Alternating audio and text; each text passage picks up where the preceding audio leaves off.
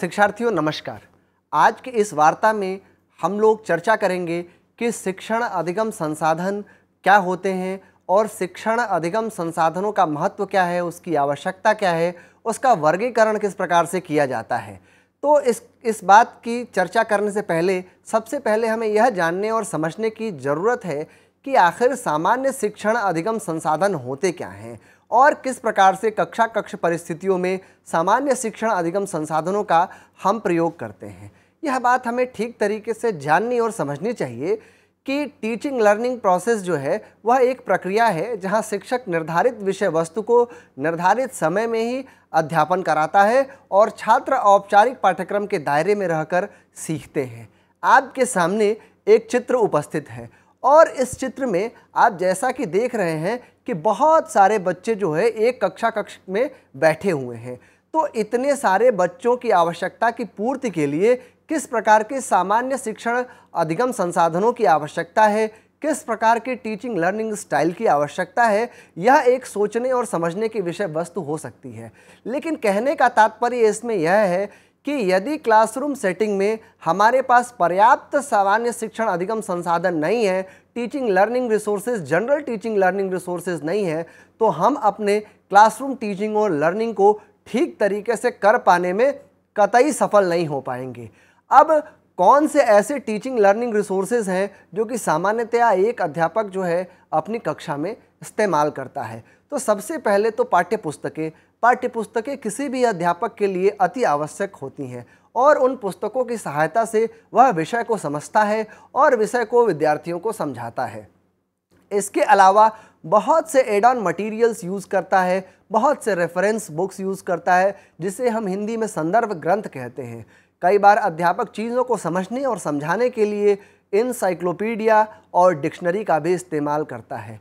अब चूँकि यह सूचना प्रौद्योगिकी का समय है तो अब बहुत सी चीज़ें जो हैं ऑनलाइन भी उपलब्ध हो जाती हैं। तो लिखित दस्तावेज़, ऑनलाइन व ऑफलाइन का प्रयोग भी कक्षा कक्ष परिस्थितियों में अध्यापक टीचिंग और लर्निंग रिसोर्स के रूप में करता है। अध्यापक के लिए उसके बहुत महत्वपूर्ण जो दस्तावेज़ हैं, जो बहुत महत्वपूर्ण रिसोर्सेज हैं, उनमें अध्यापक नोट्स जो है, वो एक बहुत इंपॉर्टेंट चीज़ होता है। अध्यापक जो है क्लासरूम में टीचिंग करने से पहले सामान्यतया एक नोट्स तैयार करता है, जिसमें वह टीचिंग पॉइंट्स को मेंशन करता है और उन टीचिंग पॉइंट्स की सहायता से ही वह अपने टीचिंग और लर्निंग के काम को संपादित करता है। इस प्रकार हम देखते हैं कि टीचिंग लर्निंग प्रोसेस में इन टूल्स का, इन संसाधनों का बहुत इस्तेमाल है और यदि कोई शिक्षक सावधानीपूर्वक और कुशलतापूर्वक इन संसाधनों का प्रयोग करेगा तो निश्चित ही उसे क्लासरूम टीचिंग में सफलता प्राप्त होगी। आजकल जिस तरीके की शिक्षण अधिगम संसाधनों के प्रयोग की वकालत शिक्षाविद कर रहे हैं, उनमें क्रियाकलाप आधारित शिक्षण अधिगम संसाधन सबसे प्रमुख रूप से उभर कर हमारे सामने आते हैं। क्रियाकलाप आधारित शिक्षण अधिगम संसाधन को कई नामों से हम लोग जानते हैं और भिन्न भिन्न परिस्थितियों में भिन्न भिन्न अध्यापक भिन्न भिन्न नामों से इसे संबोधित करते हैं। तो जिन नामों से इनको संबोधित करते हैं, उनका ज़रा सा एक बार हम लोग देखेंगे कि कौन कौन से वो नाम हैं जो कि क्रियाकलाप आधारित शिक्षण अधिगम की तरफ़ इंगित करते हैं। सबसे पहला जो क्रियाकलाप आधारित शिक्षण अधिगम संसाधन का नाम है, वह है हस्त आधारित शिक्षण अधिगम संसाधन। दूसरा नाम है क्रियाकलाप आधारित शिक्षण अधिगम संसाधन। तीसरा नाम है अनुभव आधारित शिक्षण अधिगम संसाधन। और चौथा नाम है करके सीखना आधारित शिक्षण अधिगम संसाधन। अब हम यह जानने और समझने की कोशिश करेंगे कि आखिर क्रियाकलाप आधारित शिक्षण अधिगम है क्या और इसका क्या लाभ है और इसके क्या हानि दोष है, इसका एक सामान्य विश्लेषण करने की हम कोशिश करेंगे। तो सबसे पहले हम यह समझते हैं कि क्रियाकलाप आधारित शिक्षण अधिगम क्या है। तो यह बात हमें ठीक तरीके से जाननी और समझनी होगी कि क्लासरूम टीचिंग के दौरान ऐसा प्रोसेस फॉलो करते हैं जहाँ छात्र व्यक्तिगत अथवा समूह में स्वयं ही करके सीखता है। ऐसा इसलिए कि विद्यार्थी जो स्वयं करके सीखता है, वह ज्ञान, वह अनुभव ज़्यादा स्थायी होता है। बनस्पत की वह किताबों से पढ़ के उस ज्ञान को अर्जित करे। जो चीज़ें हम देख कर सीखते हैं, जो चीज़ें हम करके सीखते हैं, वह हमारे मन मस्तिष्क पर अमिट छाप छोड़ते हैं। और स्वयं करके सीखने वाला ज्ञान जो है वह स्थायी रूप से हमारे मन मस्तिष्क पर अंकित हो जाता है। तो जो समूह में स्वयं करके सीखते हैं और शिक्षक केवल मार्गदर्शक की भूमिका में अथवा संसाधन उपलब्ध कराने का कार्य करता है तो सीखना हमारे लिए ज़्यादा आसान हो जाता है और ज़्यादा सहज तरीके से सीख लेते हैं हम। इस प्रक्रिया में यह बात ध्यान देने की ज़रूरत है कि एक शिक्षक जो है, वह अपने निर्देशन में ही इस कार्य को संपादित करे और तमाम तरह के इक्विपमेंट्स तमाम तरह की चीज़ें जो उस विशेष परिस्थिति में आवश्यक हैं, वह विद्यार्थियों को उपलब्ध कराएँ। आप जो पावर पॉइंट में स्लाइड जो देख रहे हैं, उसमें आपको कुछ चित्र दिख रहे हैं, जिसमें कि कोई कार्टून जो बने हुए हैं, वह चीज़ों को विश्लेषित करके कुछ काम कर रहे हैं। यह एक क्रियाकलाप आधारित शिक्षण अधिगम का एक रूप है जिसे कि आप देख सकते हैं और समझ सकते हैं कि क्रियाकलाप आधारित शिक्षण क्या है। अब हम यह जानने और समझने की कोशिश करेंगे कि शिक्षण अधिगम प्रतिमान के पद क्या हैं जो टीचिंग लर्निंग मॉडल है उसके स्टेप्स क्या क्या होते हैं और कौन कौन से स्टेप्स हम लोगों को फॉलो करने चाहिए।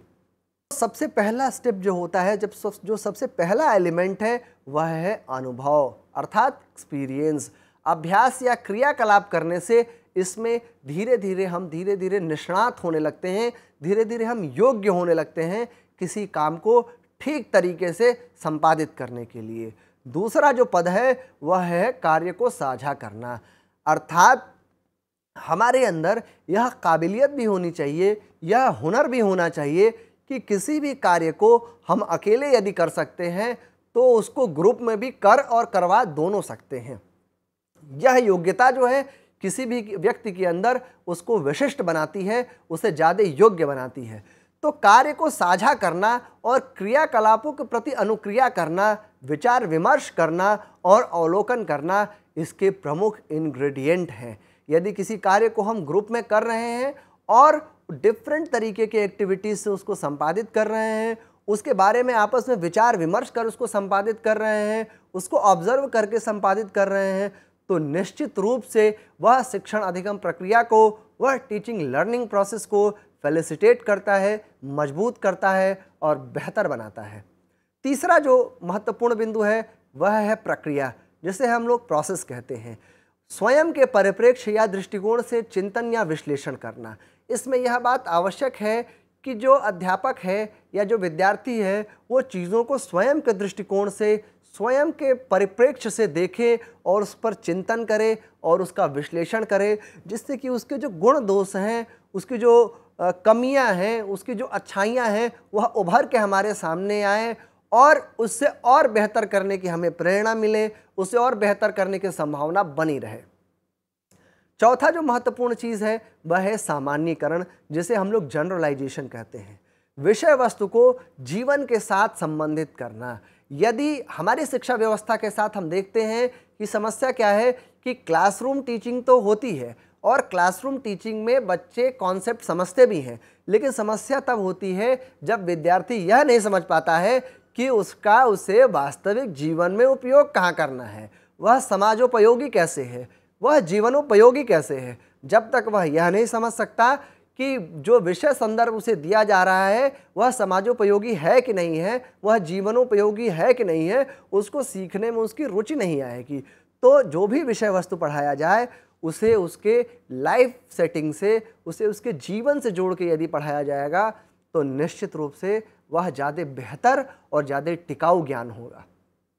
पांचवा जो बिंदु है, वह है अनुप्रयोग, जिसे हम कहते हैं एप्लीकेशन जो कुछ भी हम सीखते हैं, उसे जीवन की वास्तविक परिस्थितियों पर लागू करना।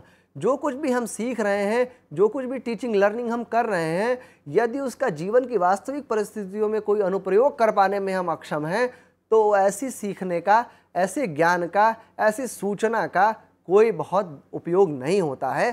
तो यह बेहद ज़रूरी है कि हम जो कुछ भी सीख रहे हैं उसका ठीक तरीके से अनुप्रयोग किया जाए। अब हम यह समझेंगे कि शिक्षण अधिगम का महत्व क्यों है। सीखने एवं सिखाने से अधिगम की प्रक्रिया सहज, सरल, आसान और सुगम बनती है। इसलिए सीखने और सिखाने की प्रक्रिया को हमें ठीक तरीके से करना चाहिए और उसको अंजाम देना चाहिए। दूसरा जो बिंदु है, वह है ज्ञान ग्रहण करने की शक्ति में वृद्धि होती है इससे। तीसरी जो बात है, वह है ज्ञान का मस्तिष्क में ज़्यादा ठहराव होता है रिटेंशन होता है। चौथी जो बात है, वह है करके सीखने एवं सिखाने से प्राप्त ज्ञान की प्रामाणिकता की जाँच भी स्वयं के द्वारा की जा सकती है। यदि कोई ज्ञान हम करके सीखते हैं और उसको करके ठीक तरीके से आत्मसात करते हैं तो हमें यह बात समझ में आती है कि वह ज्ञान जो है, ज़्यादा वैध, ज़्यादा प्रामाणिक ज़्यादा वैलिड ज़्यादा रिलायबल होता है। साथ ही साथ, शिक्षण अधिगम प्रक्रिया का महत्व इसलिए है कि इसमें भाषा का हम लोग को ठीक तरीके से ज्ञान हो पाता है और लेखन शैली में भी यह सुधार करने में सहायक होता है। अगली जो महत्वपूर्ण बात है, वह है कि पुस्तकों से सीखने एवं सिखाने के बजाय करके सीखना एवं सिखाना संवेगों, संवेदनाओं और विवृत्तियों आदि को ज़्यादा अधिक प्रभावित करता है जड़ों तक जाके प्रभावित करता है। वैसे जॉन डीवी ने यह कहा भी है कि समस्त वास्तविक ज्ञान अनुभव के माध्यम से ही आता है। जो रियल नॉलेज है, जो real experience, real knowledge, real experiences के थ्रू ही हमारे पास आता है। इसलिए हमें करके सीखने पर ज़ोर देना चाहिए। करके सीखने या सिखाने पर आधारित शिक्षण अधिगम अधिक महत्वपूर्ण है। इसके बजाय कि हम रटे रटाए ज्ञान को, किताबी ज्ञान को, विद्यार्थियों को स्पून फ़ीड करते रहें। इसलिए करके सीखने पर ज़्यादा ज़ोर देने की आवश्यकता है। अब हम यह इस बात पर चर्चा करेंगे कि शिक्षण अधिगम संसाधनों की आवश्यकता क्या है और उसका क्या महत्व है। जो शिक्षण अधिगम संसाधन है, वह किसी भी क्लासरूम सेटिंग में, किसी भी अध्यापक के लिए बहुत महत्वपूर्ण होते हैं। और इसमें पहली बात जो है कि इसकी ज़रूरत क्या है तो ज्ञान की शुद्धता एवं स्पष्टता के लिए शिक्षण अधिगम संसाधनों की आवश्यकता होती है। नॉलेज जो है, वो प्योर हो, क्लियर हो, एक्यूरेट हो, इसके लिए शिक्षण अधिगम साधनों का प्रयोग करना चाहिए। दूसरी जो बात है, वह है बच्चों में रुचि जागृत करने के लिए एवं उनके अवधान को बढ़ाने के लिए। यदि किसी क्लासरूम में हम टीचिंग कर रहे हैं और उस टीचिंग के, दौरान हम केवल बातचीत कर रहे हैं तो कई बार ऐसा होता है कि विद्यार्थी हमारी बातों को, आपकी बातों को नहीं सुनते हैं। इन परिस्थितियों में यदि हमारे पास शिक्षण अधिगम संसाधन होते हैं तो उनके अवधान को हम आकर्षित कर पाते हैं उनका अटेंशन स्वीकार कर पाते हैं, यह भी एक शिक्षण अधिगम संसाधनों की एक महत्वपूर्ण आवश्यकता है। अगली जो बात है, वह है ये अच्छे अभिप्रेरक के रूप में भी कार्य करते हैं। शिक्षण अधिगम संसाधन जो होते हैं टीचिंग लर्निंग रिसोर्सेज जो होते हैं, एक बहुत बेहतर मोटिवेटर होते हैं, इसलिए इसका प्रयोग भी किया जाना चाहिए और इनके माध्यम से इंद्रियों का अधिकतम उपयोग होता है। यह हमारे यह बात रिसर्चेस में भी सिद्ध हो चुकी है कि जो, जिस तरीके से हम ज़्यादा से ज़्यादा इंद्रियों को पहुँच सकते हैं, इंद्रियों को स्पर्श करा सकते हैं, इंद्रियों तक पहुँच सकते हैं, वही ज्ञान हमें ज़्यादा ठीक तरीके से समझ में आता है और वही ज्ञान ज़्यादा स्थायी भी होता है। तो हमें यह बात समझने की ज़रूरत है कि यदि कोई ऐसा माध्यम है जो कि हमारे ऑडिटरी चैनल्स को, हमारे विजुअल चैनल्स को ज़्यादा बेहतर तरीके से छूता है, ज़्यादा बेहतर तरीके से प्रभावित करता है तो वह ज्ञान, वह सूचना, वह पढ़ाने लिखाने का तरीका ज़्यादा स्थायी और ज़्यादा समय तक टिकाऊ होता है। अगली जो बात है, वह है शिक्षण सूत्रों, जैसे कि मैक्सिम्स ऑफ़ टीचिंग कहते हैं, उस पर आधारित होना चाहिए। और टीचिंग लर्निंग रिसोर्सेज से हम देखते हैं कि टाइम की बचत भी होती है, समय की बचत भी होती है, क्योंकि चीज़ों को समझाने में हमें सहायता मिलती है। चीज़ों को आसानी से हम समझा सकते हैं, इसलिए हमारे पास पर्याप्त समय भी बच जाता है, जिसका हम उपयोग दूसरे कामों में कर सकते हैं। अगली जो बात है, वह है शिक्षण एवं अधिगम में भागीदारी को बढ़ावा मिलता है। इससे क्या होता है कि विद्यार्थी जो क्लास में पैसिव लिसनर बना है, वो भी पार्टिसिपेट करता है डिस्कशन में। वह भी देखने लगता है कि आखिर ये क्या ला दिया है अध्यापक ने। और अध्यापक जब उस पर बल देकर विद्यार्थी को समझाने की कोशिश करता है तो वह ज़्यादा सहज तरीके से, ज़्यादा सुगम तरीके से, ज़्यादा आसान तरीके से समझ पाता है। अगली जो महत्वपूर्ण बात है, वह है विविधताओं का परिचय। जो वैरायटी है वो उसको इंट्रोड्यूस किया जा सकता है। कई बार क्या होता है कि किसी चीज़ को समझाने में कई डायमेंशंस उसके होते हैं, कई उसके परिप्रेक्ष्य होते हैं। तो उन परिप्रेक्ष्यों को समझने और समझाने के लिए इन संसाधनों का प्रयोग जो है, वो ज़्यादा बेहतर तरीके से किया जा सकता है। अगला जो दृष्टिकोण है, वह है साइंटिफिक अप्रोच का डेवलपमेंट वैज्ञानिक दृष्टिकोण का विकास।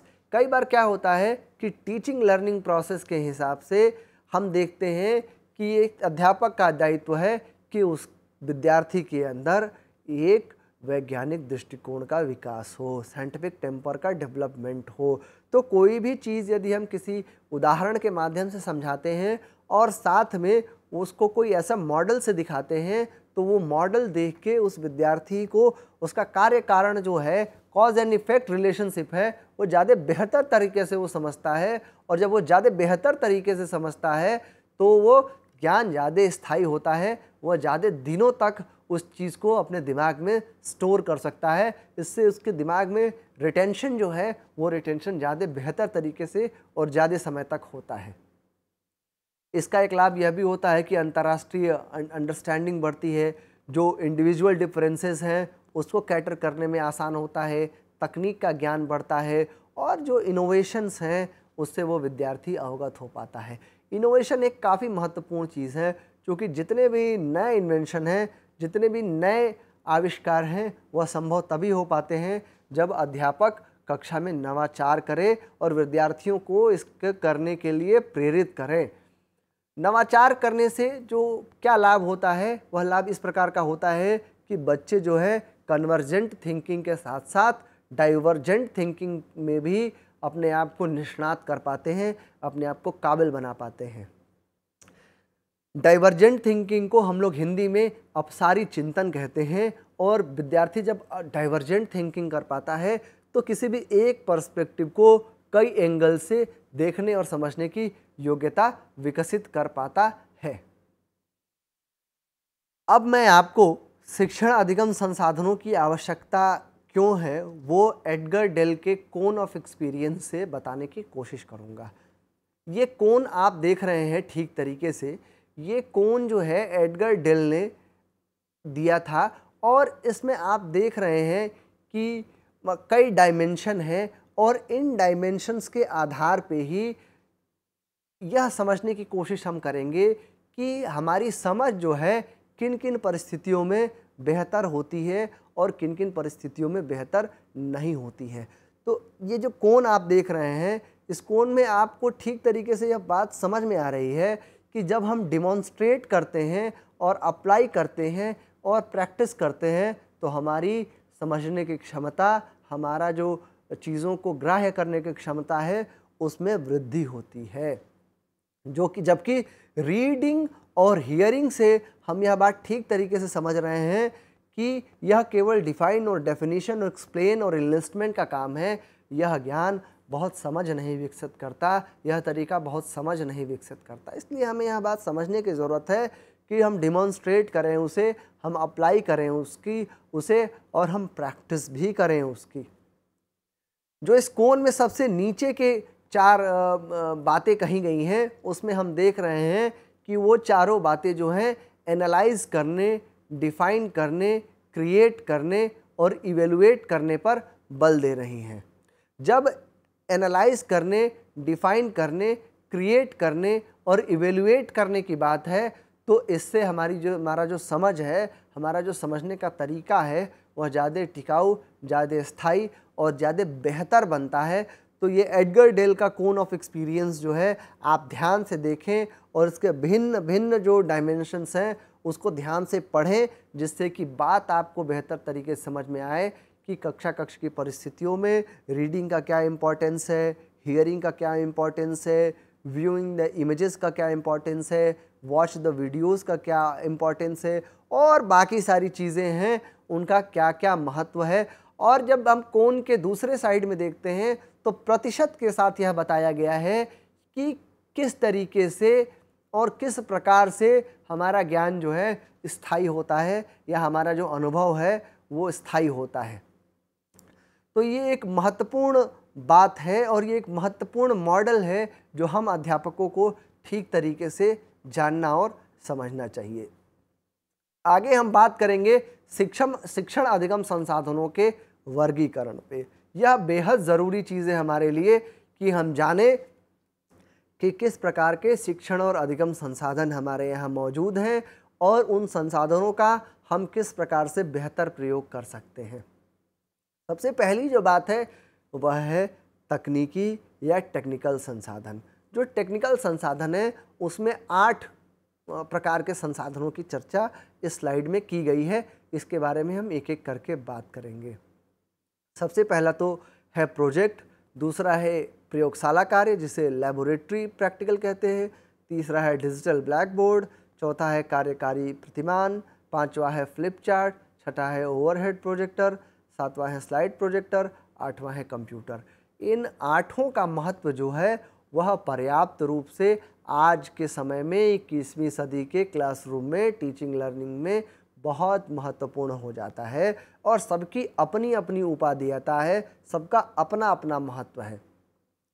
प्रोजेक्ट के माध्यम से हम किसी भी लक्ष्य को प्राप्त करने के लिए एक ग्रुप में एफर्ट करते हैं। प्रोजेक्ट सिंगल भी हो सकता है, ग्रुप में भी हो सकता है, जिसमें कि एक निश्चित लक्ष्य होता है, वह प्राप्त करने की प्रेरणा दी जाती है। प्रयोगशाला कार्य में cause and effect relationship establish होता है और प्रयोगों के द्वारा सीखना जो है, विज्ञान के शिक्षण में काफ़ी महत्वपूर्ण भूमिका अदा करता है। आजकल डिजिटल ब्लैक बोर्ड भी आ गए हैं, जो कि जो कुछ भी उस पर लिखा जाता है, उसे स्टोर कर पाने में सक्षम होते हैं तो वो ज़्यादा दिनों तक वो चीज़ें सुरक्षित रहती हैं चौथा जो है वो कार्यकारी प्रतिमान है, जिसे हम वर्किंग मॉडल करते हैं, कहते हैं साइंस की टीचिंग में वर्किंग मॉडल की अपनी ही उपाधेयता है, अपना ही महत्व है। पांचवा फ्लिप चार्ट है फ्लिप चार्ट के द्वारा भिन्न भिन्न प्रकार की सूचनाओं को हम देते हैं। छठा जो है ओवरहेड प्रोजेक्टर है ओ के माध्यम से हम चीज़ों को दिखाते हैं, समझाते हैं, बताते हैं। सातवां जो है स्लाइड प्रोजेक्टर और आठवां कंप्यूटर कंप्यूटर आज के समय में बहुत महत्वपूर्ण भूमिका अदा कर रहा है और कंप्यूटर के माध्यम से हम बहुत सारी सूचनाओं का आदान प्रदान, बहुत सारी सूचनाओं को जोड़ सकते हैं और यदि कंप्यूटर इंटरनेट के साथ जब जुड़ जाता है तो वह एक जादुई डिवाइस बन जाता है और दुनिया भर की सूचनाएँ जो हैं, हम उस कंप्यूटर के माध्यम से प्राप्त कर सकते हैं। ये सारी चीज़ें जो हैं, आज के समय में बेहद ज़रूरी है जिसे कि एक किसी भी अध्यापक को जानना और समझना चाहिए। दूसरा जो वर्गीकरण है, वह गैर तकनीकी वर्गीकरण है, जिसे नॉन टेक्निकल कहते हैं। इसमें जो है, आप देखते हैं कि अकार्यकारी प्रतिमान जिसे नॉन वर्किंग मॉडल कहते हैं, वो आता है। ऐसे मॉडल्स जैसे यदि आप भूगोल की कक्षा में हैं और मैप लेके जाते हैं या ग्लोब लेके जाते हैं तो वह एक अकार्यकारी प्रतिमान की श्रेणी में आता है, जिसमें आप देख के बता सकते हैं भारत के नक्शे में कि पंजाब कहाँ है, दिल्ली कहाँ है, उत्तर प्रदेश कहाँ है, केरल कहाँ है, मणिपुर कहाँ है, बंगाल कहाँ है।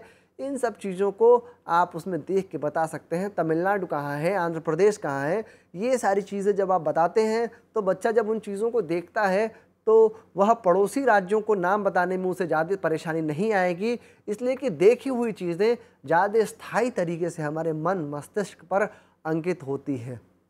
दूसरा जो है, वो है चौक बोर्ड का प्रयोग और चौक। पहले के समय में जब शिक्षक इस्तेमाल करते थे चौक, वो वन कलर चौक का इस्तेमाल करते थे। लेकिन अब मल्टी कलर चौक आ गए हैं। जब आप भिन्न भिन्न रंगों के चाक से भिन्न भिन्न चीज़ों को दिखाते हैं तो बच्चे को वह बात ज़्यादा आकर्षक लगती है और बड़ी रुचि के देखना इसके साथ साथ आजकल तरह तरह के चौक बोर्ड्स का प्रयोग भी हो रहा है और उन चौक बोर्ड से आप ज़्यादा बेहतर तरीके से बच्चों से कम्युनिकेट कर रहे हैं। तीसरा जो है चार्ट, यह छोटे बच्चों को पढ़ाने में बहुत आवश्यक और बहुत ज़रूरी होता है। कई बार क्या है कि बच्चों को जैसे सब्जियों के नाम बताने हैं बच्चों को फलों के नाम बताने हैं, जानवरों की पहचान करानी है। तो आप चार्ट के माध्यम से बता सकते हैं कि देखो भाई, ये आलू है, इसको पोटैटो कहते हैं, ये भिंडी है। इस तरीके से तमाम चीज़ों को आप चार्ट के माध्यम से भी पढ़ा सकते हैं। इसके अलावा ह्यूमन बॉडी के पार्ट को पढ़ाने के लिए भी कक्षा कक्ष की परिस्थितियों में छोटे बच्चों के लिए चार्ट का इस्तेमाल बहुत बेहतर और ठीक तरीके से किया जा सकता है। चौथी जो बात है, वह है अभिनय एवं भूमिका अदा।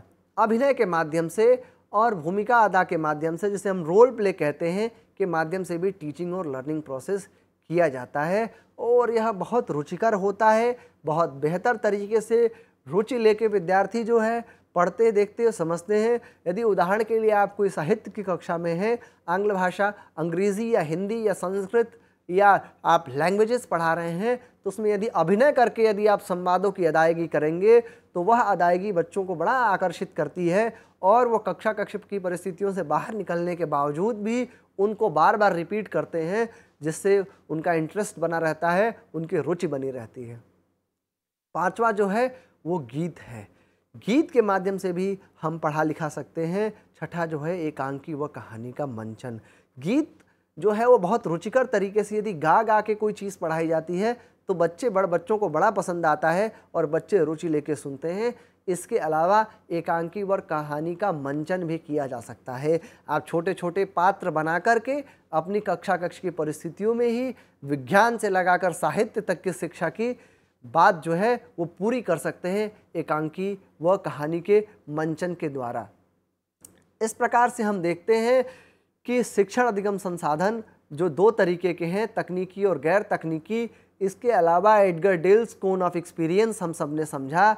और शिक्षण अधिगम संसाधनों की क्या आवश्यकता है, उसका क्या महत्व है, इन सब चीज़ों को हम लोगों ने इस कक्षा इस वार्ता में ठीक तरीके से जाना और समझा है। और हमने यह भी जाना और समझा है कि क्रियाकलाप आधारित शिक्षण अधिगम है क्या?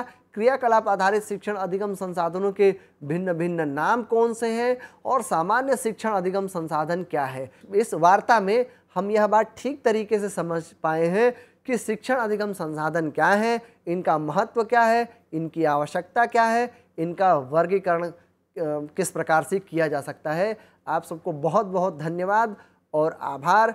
अगली कक्षा में हम फिर किसी नए विषय के साथ आपके सामने उपस्थित होंगे। बहुत बहुत धन्यवाद और नमस्कार।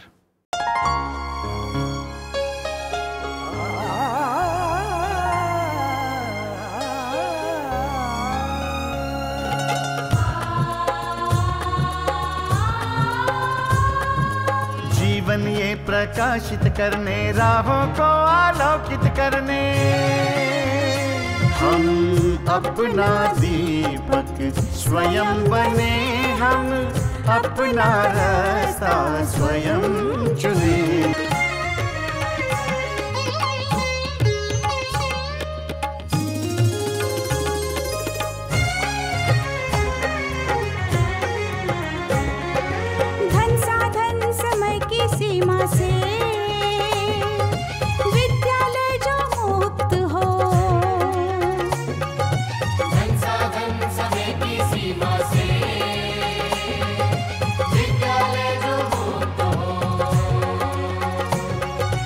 कभी पढ़े, हम कहीं पढ़े। वे विषय की लोच से युक्त हो। मित्रों, हम उठे और जाग।